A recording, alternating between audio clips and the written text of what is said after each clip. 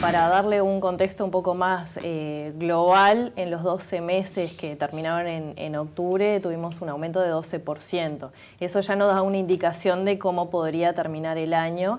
Y bueno, después de dos años de caída es una muy buena noticia.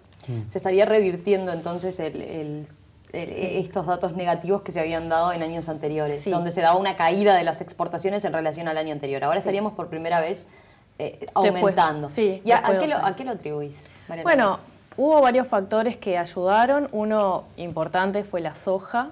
La soja tuvo un muy buen año este 2017, el 2016 fue un muy mal año por temas climáticos sobre todo. Y bueno, ahí ya hubo un impulso importante.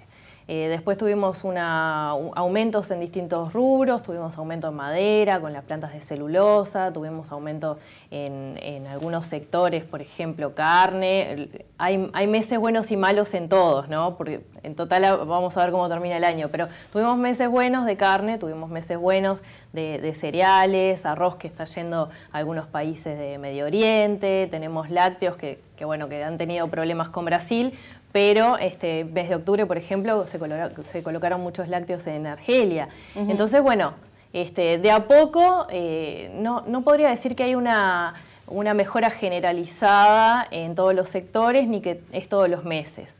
Es como que hay meses buenos y malos en, en, en algunos sectores y, y, como que se van compensando. Hay este, meses que le va mejor a unos y otros meses mejor a otros pero todavía lo que está faltando es la, parte más industrial, ¿no? de este, productos eh, más elaborados, farmacéuticos, bueno, los automotrices están mejorando un poco a, la región, Argentina y Brasil, que estaba bastante complicado, eh, pero bueno, eso es lo que está faltando, como un impulso más generalizado y que llegue también a sectores que no son este, los típicos eh, tradicionales de principales sectores de exportación como son carne, soja, lácteos, cereales y, madera, ¿no? que esos son los, los principales, que todo el pelotón de atrás este, también tenga recuperación.